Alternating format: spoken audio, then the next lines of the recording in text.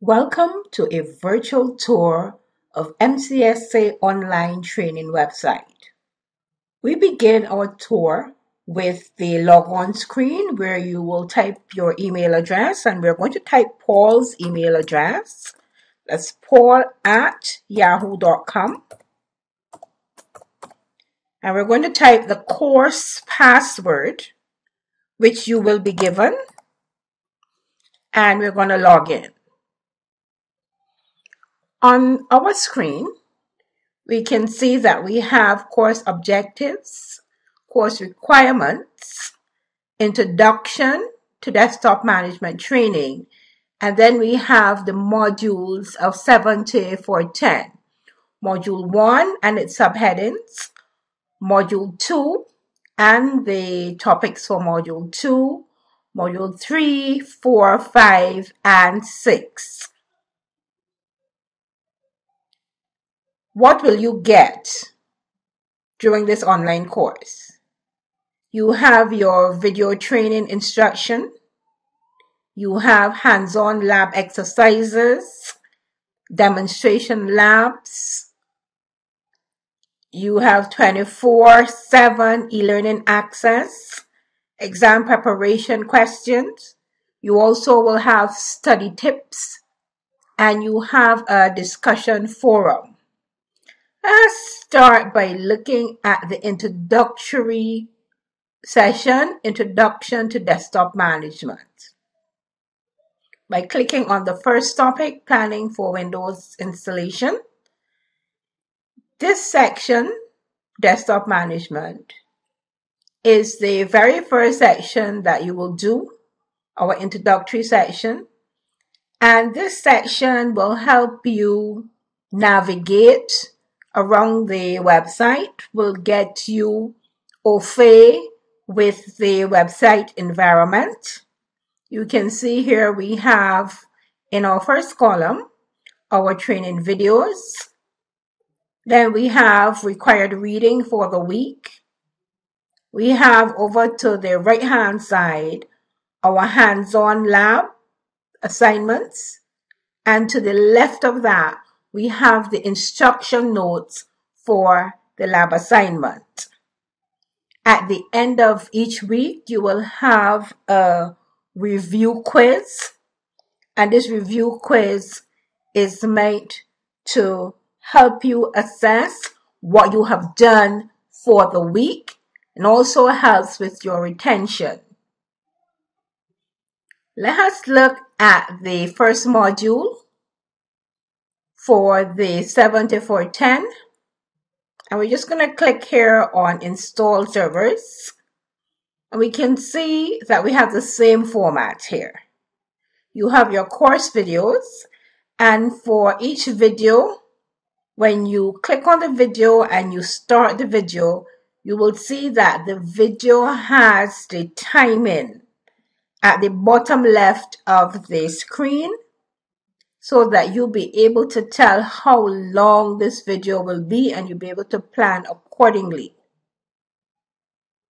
Again, you have here your lab instruction notes and your hands-on lab. We also have study tips. You can click on your study tips and you're shown a number of tips that are geared to helping you with your online studying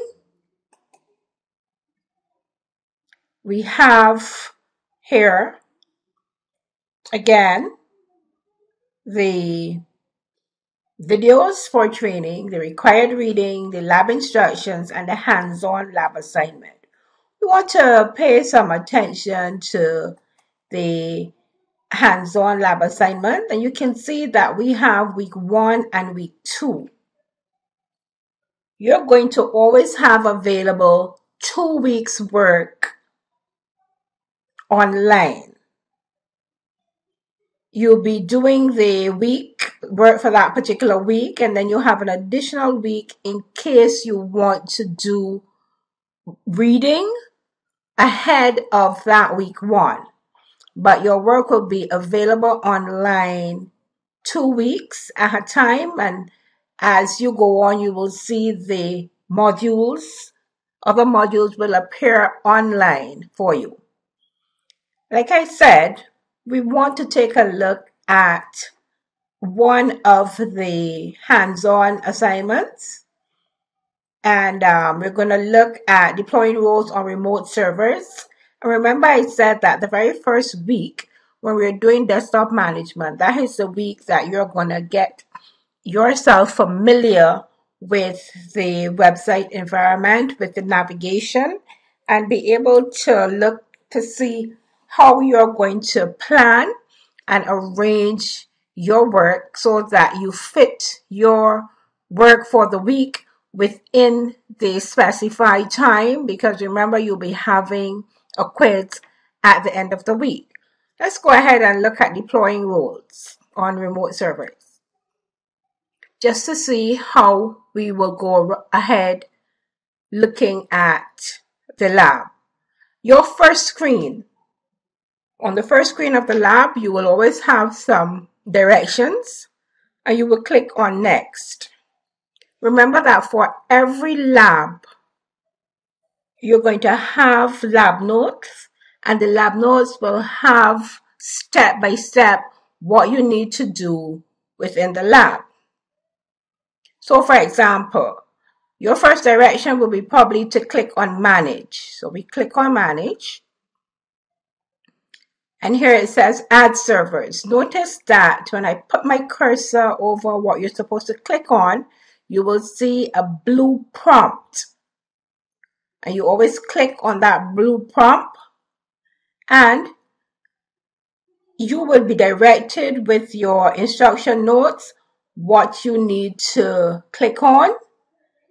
If you click outside of the blue prompt, you'll probably get an error. If I click here, for example, it will say incorrect. Please try again. So following your lab notes, you will click where the lab notes say to click.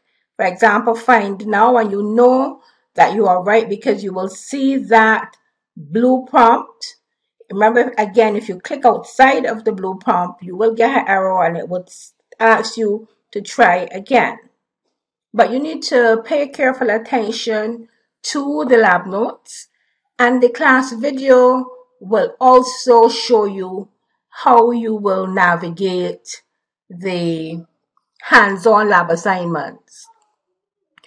You can also use TechNet virtual labs and when you're going through your hands-on lab assignment, you will see me explaining step by step how to find the TechNet virtual machine and which machine you should be using. We want to go back and look at the forum, which is your discussion forum. So we're going to click here on forum. And here you can enter your information, your last name, first name, date, and topic. And make sure to every time you enter information that you enter the date, the topic, your first and last name in the comment or query box, you can type your discussion um, point, your comments, and you click submit. And you will see what you type. For example, here, this is the first comment, and this is by the admin. Welcome to the MCSA class forum. The online training class 7410 will officially begin on May 15, 2017.